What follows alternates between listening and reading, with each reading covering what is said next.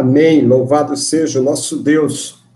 Estamos enfrentando todos nós esse momento tão complicado né, dessa pandemia que tem afetado a famílias e a tanta gente e muitas pessoas que per perderam e perdem a parentes, amigos. É, um, é uma situação sempre muito difícil, muito delicada.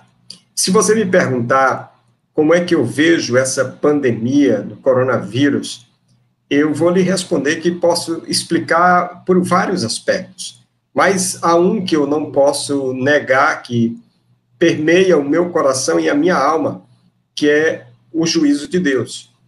Eu não creio que a pandemia seja o juízo, mas é um juízo de Deus sobre a humanidade inteira, sobre todos nós. Como nos dias de Noé, este mundo tem passado dos limites, este mundo tem profanado o nome de Deus, tem blasfemado da fé em Cristo Jesus. As grandes nações usurpam as menores, ceifam vidas inocentes, promovem a guerra em nome da paz. E o coronavírus foi o meio de Deus nos dizer que há limites, que há um Deus sobre nossas cabeças e que há um Deus sobre as nações. Deus está dizendo ao mundo todo: vocês não podem agir como estão agindo. Vocês precisam parar, precisam dar um basta, um stop nessa situação.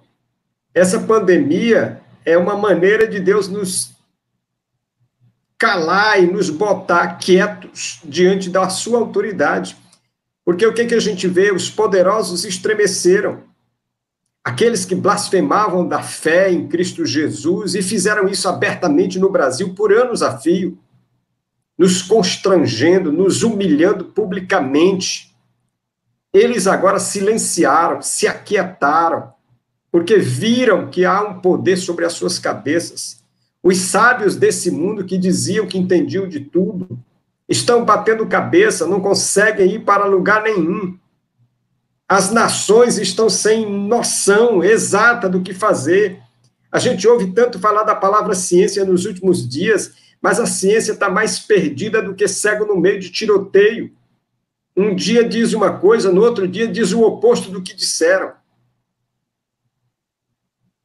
Agora, nós que nos declaramos filhos de Deus, crentes em Cristo Jesus, precisamos entender que Deus também nos disciplina. A palavra de Deus diz que todos nós daremos conta ao Senhor, inclusive nós que nos declaramos seguidores de Cristo Jesus.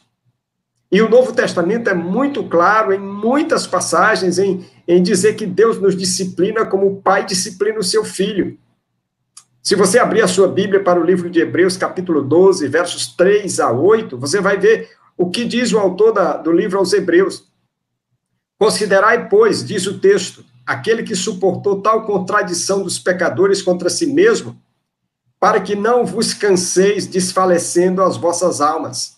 Ainda não resististe até o sangue, combatendo contra o pecado, e já vos esqueceste da exortação que vos admoesta como a filhos.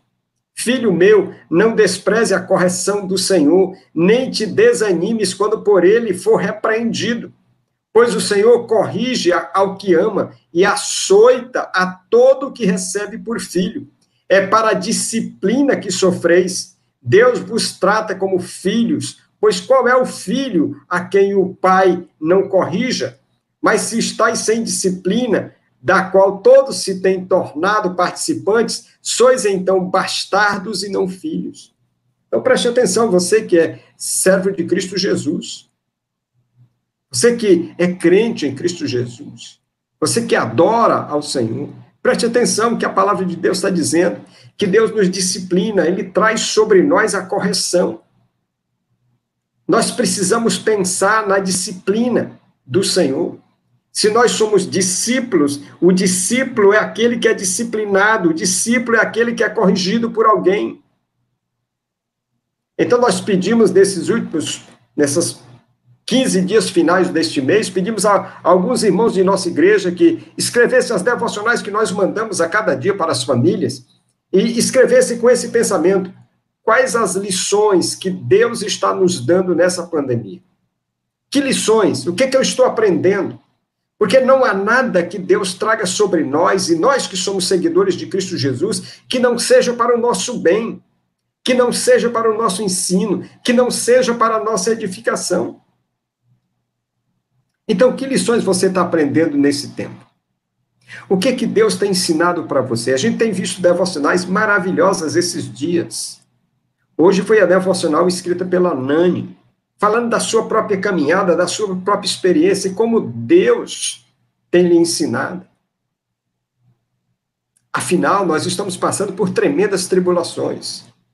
Nossos planos foram mudados drasticamente. Quanto mais demora a volta do Senhor, mais as coisas vão se apertando. E quanto mais demora o fim dessa pandemia, aquilo que todos estão chamando novo normal, mais difícil fica da gente entender tudo o que está acontecendo. É muito bom quando a gente encontra direção na palavra de Deus para esse momento, para as nossas vidas, para a tomada de decisão nossa. Paulo, quando escreveu aos Tessalonicenses, em meio à perseguição que aquela igreja estava sofrendo por causa da fé em Cristo Jesus, crentes sendo presos, Paulo escreveu assim: para que ninguém seja abalado por estas tribulações, porque vós mesmos sabeis que para isto fomos chamados. Meu Deus do céu, preste bem atenção o que Paulo está dizendo. 1 Tessalonicenses 3,3, abra aí a sua Bíblia. Ele está dizendo para uma igreja que é perseguida, que os líderes foram presos, ele está dizendo assim: olha, preste atenção, vocês estão passando por tudo isso, mas saiba que foi para isto que fomos destinados. E a palavra que Paulo usa aqui, a palavra tribulação, é um termo geral na Bíblia para designar sofrimento do povo de Deus. O termo no Novo Testamento geralmente se refere à opressão, angústia sofrida pelos crentes, normalmente trazida como a palavra tribulação ou aflição. No Novo Testamento, a tribulação é uma experiência de todos os crentes em Cristo Jesus. E ela pode incluir a perseguição, ela pode incluir a prisão, ela pode incluir o escárnio dos outros, ela pode incluir a pobreza, a doença, ela pode incluir a tristeza, a angústia interior por tudo que estamos vendo e passando. Veja que a expressão que Paulo diz é: para isto fomos, para isto fomos. Vem de um verbo que significa colocar ou colocado, que é uma forma muito forte de dizer assim: seus tempos difíceis foram colocados assim por Deus. Este texto de Paulo nos ensina que as tribulações em nossas vidas são provindas de Deus, não são acidentais. Não é como você diria, acidente de percurso. Não, não, não, não. O Senhor Jesus disse que nem um fio da nossa, do nosso cabelo cai sem que o Senhor tenha ciência disso. Nada acontece comigo ou com você que é servo de Cristo Jesus por obra do acaso. O que acontece comigo e com você pode ser muito reflexo das nossas decisões, também dos nossos pecados, mas nada é sem a, a, a, o conhecimento do nosso Deus. Isso significa que todo julgamento ou dificuldade que você passou, ou passa, ou vai passar, ele vem sob medida para você, porque você tem um Pai celestial que é amoroso, que valoriza mais você do que o seu carro, que valoriza mais você do que a sua casa, que valoriza mais você do que a sua fazenda, que valoriza mais você do que a sua conta bancária. Você tem um Deus que é seu Pai, que lhe disciplina como um pai que ama e quer que seu filho cresça à medida da estatura, da plenitude de Cristo Jesus. Esse Pai nomeia tempos difíceis para o nosso bem, para a sua glória. Ouça bem, ouça bem. Tudo o que vem até você, tudo o que você passa, tudo o que você ainda passará, tudo isso vai passar pelas mãos do Senhor. Tudo isso recebeu o selo de aprovação do Senhor. Eu sei que eu posso estar botando você para ficar pirado da vida, mas é porque eu preciso que você entenda que a minha vida e a sua vida estão nas mãos do Senhor. E quando um dia eu declarei que Jesus era o meu Salvador e Senhor, eu fiz o que Paulo fez, e você fez o que Paulo fez. E o que foi que Paulo fez? Ele disse: Eu já estou crucificado com Cristo. E quem vive agora não sou mais eu, é Cristo que vive em mim. Então, a partir daquele dia que você tomou essa decisão, a sua vida deixou de ser sua e passou a ser de Jesus. Então, nada vem sobre você que o Senhor não tenha ciência disso. É por isso que Tiago escreveu, Tiago capítulo 1, versos 2 a 4 e verso 12. Veja o que ele diz: Meus irmãos, tendes por motivo de gozo passar de por várias provações, sabendo que a provação da vossa fé produz a perseverança, e a perseverança tem a sua obra perfeita, para que sejais perfeitos e completos, não faltando coisa alguma. Bem-aventurado o homem que suporta a provação, porque depois de aprovado receberá a coroa da vida que o Senhor prometeu aos que o amam. Veja bem, a aprovação vem com o propósito de que Deus me aperfeiçoe para a glória de Cristo Jesus na minha vida. Então nós precisamos ficar atentos. Pois quando a tribulação vem sobre nós, é preciso ter cuidado, porque Satanás nos tenta, querendo nos fazer duvidar da bondade e do amor de Deus. Satanás vai soprar no seu ouvido: olha, você está sofrendo é porque Deus não lhe ama. Este era o medo de Paulo quando ele viu os tessalonicenses sendo perseguidos no início da caminhada de fé.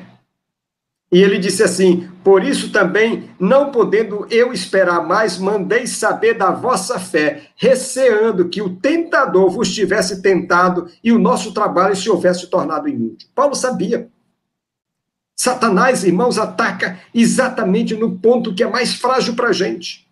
E no momento dessa pandemia, no momento que a gente sofre por todos os lados, porque estamos com medo de pegar o vírus e perder a vida, ou alguém da família perder a vida, mas ainda vem outras tribulações acrescentadas, a perda do emprego, as dificuldades de, de, de estar em comunhão um com o outro, família distantes uns dos outros, sem, sem comunicação. Quer dizer, é uma série de fatores que, que contribuem para que alguns entrem em pânico. E no momento que nós lidamos com tudo isso ao mesmo tempo, Satanás vai soprar no nosso ouvido: você não é crente? Você não diz que é filho de Deus? Você não diz que segue a Jesus? Você não deixou tudo por ele? E Satanás vai dizer para você no seu ouvido que Deus não lhe ama. Paulo temia exatamente isso. O sussurro do tentador nos nossos ouvidos é tentar colocar dúvidas sobre o amor de Deus e o cuidado de Deus. Não dê ouvidos a ele. Não creia no que ele põe na sua cabeça, porque isso que ele está sussurrando no seu ouvido não é verdadeiro. Foi por isso que nós pedimos alguns irmãos da igreja para escrever esses devocionais. Para que eles pudessem dizer assim: olha, Deus está falando comigo e eu estou aprendendo isso. Ou eu aprendi isso. Porque o que Deus quer é nos ensinar. O que Deus quer é mudar a nossa vida para que moralmente, para que eticamente, para que espiritualmente sejamos semelhantes a Ele. Ele nos criou para sermos parecidos com Ele. Então, meu irmão, o que Deus está lhe ensinando? Você não pode sair dessa pandemia do jeito que entrou. Você não pode sair dessa pandemia sem ter aprendido nada.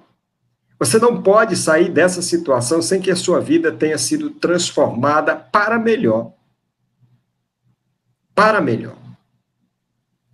Deus está mais interessado em você, em sua vida, em sua alma, do que em qualquer outra coisa durante essa pandemia. Deus ama você. E ama você 10 milhões, trilhões de vezes muito mais do que tudo que você tem. Você, você, como é seu nome? Francisco? Maria? Dionísio? João, como é seu nome? Pois é, Deus está mais interessado em você, João, Dionísio, Maria, Francisco, Pedro. Deus está mais interessado em você do que nas suas coisas. Deus não precisa das suas coisas. Jesus não morreu por suas coisas. Jesus morreu por você. Ele morreu por conta dos seus pecados. Ele morreu para que você tenha a chance de, ao morrer aqui, voltar para a presença dele, para estar com ele ele morreu para resgatar você. Ele morreu para trazer você para ele. E quando você tenta se desviar, quando você tenta se afastar, quando você tenta ficar longe dele, ele vai trazer algo para lhe disciplinar e para dizer assim: eu preciso que você esteja perto de mim. Então Deus botou você dentro da sua casa.